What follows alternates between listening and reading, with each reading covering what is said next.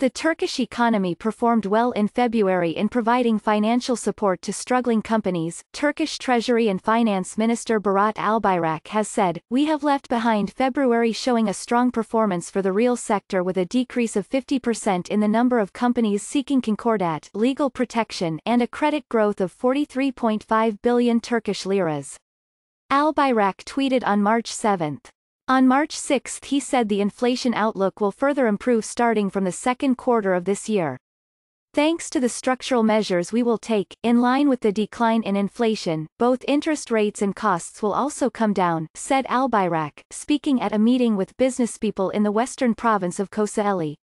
The minister also noted that the number of companies seeking concordat legal protection against creditors declined more than 50% in January and February.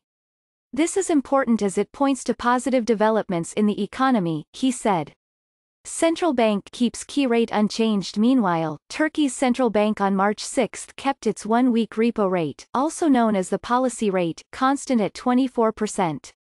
Recently released data show that rebalancing trend in the economy has become more noticeable, the central bank said.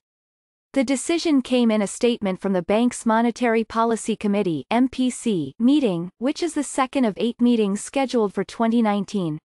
External demand maintains its relative strength while economic activity displays a slow pace, partly due to tight financial conditions. Current account balance is expected to maintain its improving trend, the bank said. In 2018, the bank held nine MPC meetings, as interest rates climbed from 8% to 24% over the course of the year. Developments in import prices and domestic demand conditions have led to some improvement in inflation indicators.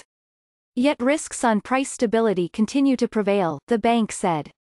Turkey saw an annual hike of 19.67% in consumer prices in February, going down 0.68 percentage points from 20.35% in January. The government's inflation rate target is 15.9% this year.